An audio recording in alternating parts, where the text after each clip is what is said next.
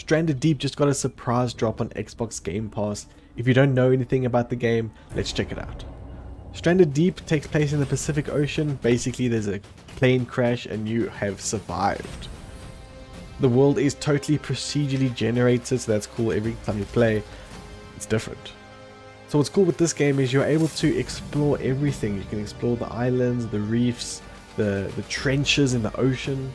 The basic goal is trying to survive and thrive. But what's cool is this has a full construction system, so you're able to build shelters and rafts to how you like it. This game looks pretty cool. It's already on Game Pass. Let me know if you're going to try it out.